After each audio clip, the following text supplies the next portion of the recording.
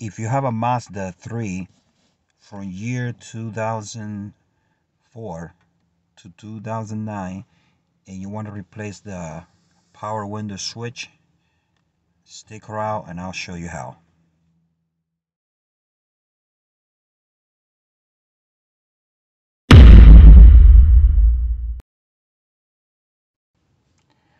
To remove this switch is pretty simple. We don't have to remove no door panels at all. We're just gonna pry it out the switch and it's gonna come out really easy. Like I say, we don't have to remove the door panel and remove screws under like certain cars. This switch is pretty easy. And for this uh, video, we're gonna use this uh, plastic pry bar.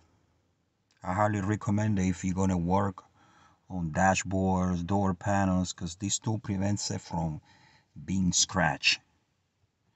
So we're gonna start right here at the bottom of the switch. We're gonna insert the pry bar on the bottom of the switch and we're gonna lift it up and we're gonna go all the way. We're gonna insert that tooling here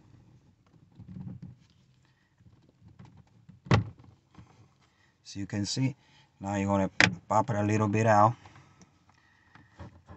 Keep popping up. Then we're going to move the switch a little downwards as you can see because it has a little tab in here that needs to be released. So now as you can see you start popping out lifting the switch up. Just move the switch around with your hands and the switch comes out very easy. Now when we remove the switch is going to have two connections. We need to remove them. Both of that connection has little tabs to lock them in place. We're going to we're going to push on this tab and we're going to push the plug out. And on the other one the same thing. It has another tab in here which we need to push in order for the plug to come out. When we remove the switch, we need to remove these three screws in here.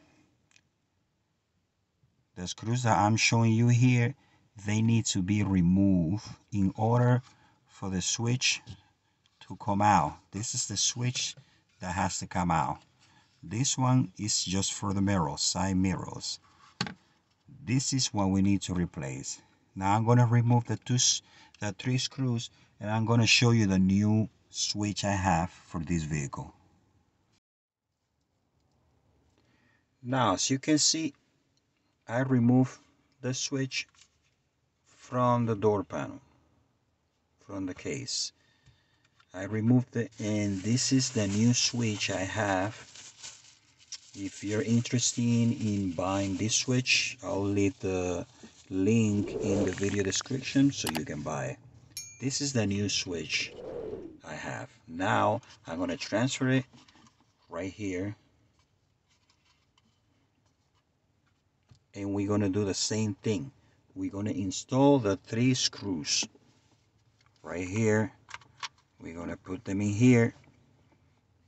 And you're going to come and get your screws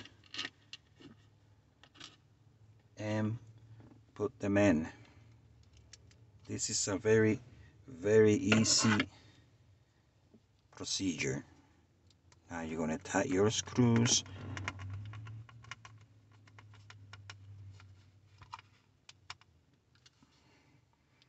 Now put the rest of the screws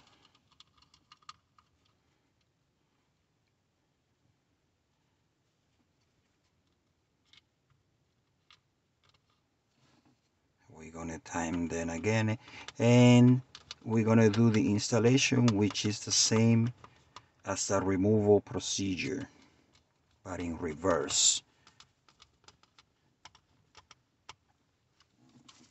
Now the switch is installed.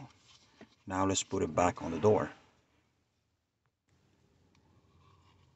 Now back at the door we have the new switch installed. We're going to do the same procedure you're going to connect the wires. Push them. Now we connect the other wire. Which is gonna go here. And as you can see the switch has a little tap in here. As you can see has a little tap which needs to go in here. We're gonna insert it first we're gonna push the this little tap first inside. So that way we can put the switch in. As you can see now we push it in. Now we just push it down with pressure.